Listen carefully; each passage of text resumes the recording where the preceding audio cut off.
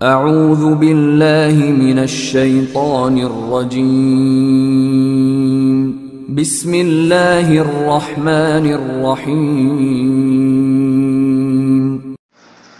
আসসালামু আলাইকুম রহমতুল্লাহ বারাকাতু আমাদের একজন ভাই প্রশ্ন করেছেন মৃত্যু সংবাদ প্রচার করার ব্যাপারে আহ, আসলে আমাদের দেশে যেভাবে মৃত্যু সংবাদ প্রচার করা হয় এভাবে মৃত্যু সংবাদ প্রচার করাটা শরীয়ত সম্মত না শরীয়ত সম্মত না বরং এটি জাহিলি কর্মকাণ্ডের অন্তর্ভুক্ত এভাবে মৃত্যু সংবাদ প্রচার করাটা মাইকে।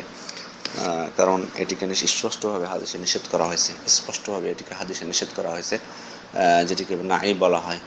এটি হাদিসে স্পষ্টভাবে নিষেধ রাসুল ইসলাম নিষেধ করেছেন এভাবে ওপেনভাবে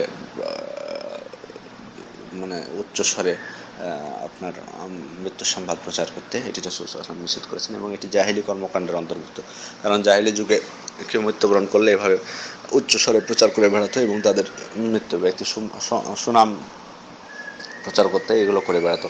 তো এটি ইসলামেও হারাম করা হয়েছে। যদিও সেখানে মৃত ব্যক্তির সুনাম করা হোক বা না হোক, শুধুমাত্র মৃত্যু সংবাদ প্রচার হোক না কেন, এটিও বৈধ না। যে কারণে হুজাইফিত আপনি লেমান থেকে বর্ণিত, তিনি বলছেন যদি তার কোনো মানে কেউ মৃত্যুবরণ করত তখন তিনি বলতেন লা তুআযিনু বিহি আহাদান ফাইন্নি আখাফু আন ইয়াকুনা নাইয়ান ফাইন্নি সামি'তু রাসূলুল্লাহ সাল্লাল্লাহু আলাইহি ওয়াসাল্লাম ইয়ানহা আনিন নাইম অর্থাৎ হুজাইফাত ইবনে লেমান বলছেন মানে যদি হুজাইফাত ইবনে লেমানের কোনো কেউ মৃত্যুবরণ করতেন, কোনো নিকটাত্মীয় বা পরিচিত, তাহলে তিনি তার মৃত্যু সংবাদ প্রচার করতে নিষেধ করতেন এবং বলতেন যে, আমার ভয় হচ্ছে রাসূল ইসলাম যে মৃত্যু সংবাদ প্রচার করাকে নিষেধ করেছেন, সেটা হয়তো আমরা তার মধ্যে হয়তো অন্তর্গত হয়ে যাব। যে কারণে এভাবে মসজিদের মাইকে তারপরে এমনি সাধারণ মাইকে এভাবে প্রচার করাটা এটা উচিত না, এটি শরীর সম্মত না বরং এটি জাহিলি কর্মকাণ্ডের অন্তর্ভুক্ত। সে কারণে আমাদের এটি থেকে বিরত থাকা অপরিহার্য। তবে সাধারণভাবে আপনি জানাতে পারেন, যারা তার নিকটাত্মীয় আপনার প্রতিবেশী, এমনি মুখে সাধারণভাবে জানিয়ে দিলেন, আপনি হয়তো হয়তো গ্রামের মধ্যে এমনিতে প্রচার হয়ে যায়, কেউ মারা গেলে।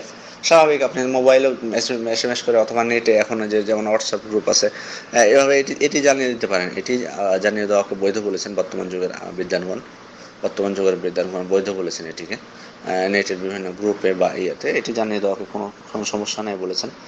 কারণ বিশেষভাবে একটি হাদিস আছে, আবু রাদুল্লাহ বর্ণিত, আন্না নবী সাল্লাহ না আন্না জাসি ফিলিমা তাফি মাতা ফিহি ওয়া ক্বালা অর্থাৎ নজ্জাসী যখন মারা গেলেন, তখন রসুল ইসলাম তার মৃত্যু কথা সাহাবিদেরকে জানালেন এবং তিনি বলেন যে তোমরা তোমাদের ভাইয়ের জন্য ক্ষমা প্রার্থনা করো।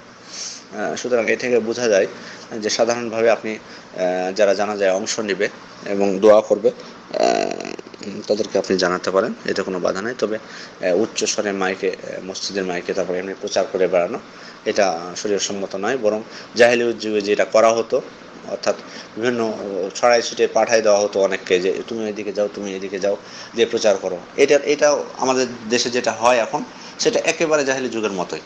অতএব এটা থেকেই মূলত ইসলামে নিষেধ করা হয়েছে সুতরাং মসজিদের মাইকে বলা থেকে বা এই ধরনের প্রচার থেকে বিরত থাকতে হবে। তেমনি এমনি সাধারণভাবে যে মোবাইল হোক বা এইভাবে জানিয়ে দেওয়া যায় যে যাতে তার জানাজার সালাতে সকলে অংশগ্রহণ করেন এবং তাকে তাদের পরিবারদেরকে সান্ত্বনা দেন। সেজন্য জানায় দেওয়াতে কোনো বাধা নেই। তবে এই ধরনের পন্থা থেকে বিরত থাকতে হবে। আসসালামু আলাইকুম রহমতুল্লাহ বারাকাত